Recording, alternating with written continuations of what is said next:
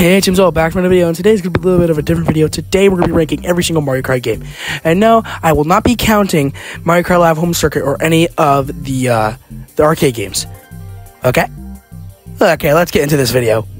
10, Mario Kart Tour. Now, don't get me wrong, I kinda like this game, but the controls, they just don't feel comfortable. And I'm just not really a big fan of the fact you need to get points to get a high score, but thank God there's the frenzy, am I right? 9. Super Mario Kart. Now, I firmly believe that this game would probably be much higher on the list if it wasn't for the god awful controls. And to top it all off, why is half the screen the actual gameplay while the bottom half shows the entire map? That just never made any sense to me. 8. Mario Kart Super Circuit. Now, the controls for Super Circuit are definitely better than Super Mario Kart. Really, the only main problem with this one is that there is absolutely zero characters that are new. And it's the same roster from Mario Kart 64, which is pretty disappointing if you ask me. 7. Mario Kart 64. Now, the controls are nice, except when you drift. Honestly, drifting is such a nightmare to get used to. And I know I'm gonna get criticized for this, but it's Rainbow Road is terrible. This track is so dang long. That's why this Rainbow Road is poop, and there's way too much barriers as well. Man, that really made me mad. 6. Mario Kart 8. I'll have to admit that this game is actually pretty good. Besides the fact that one of the characters is Pink Gold Peach, and the battle tracks are some of the same main courses. Huh? Besides those things, this game is actually pretty good. 5. Mario Kart DS. Here is a lot of people's favorite Mario Kart of all time. And I can actually probably agree to that because this game is actually really good.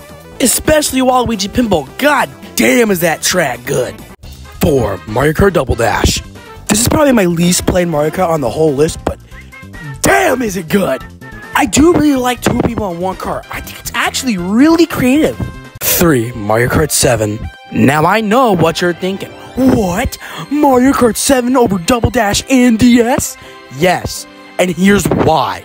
First of all, it's got the best Rainbow Road. Some of the courses, especially the retro courses, are absolutely amazing. I love the courses in this game. And to top that all off, you can now glide and drive underwater. How cool is that? 2. Mario Kart 8 Deluxe. I can't really name a single bad thing about Mario Kart 8 Deluxe. Besides Pink Gold Peach. Besides Pink Gold Peach, there are so many fixed things. For example, the battle mode that's actual battle courses now. And you get double item boxes. Cool. And one is Mario Kart Wii. I highly doubt there will ever be a Mario Kart as amazing and phenomenal as Mario Kart Wii.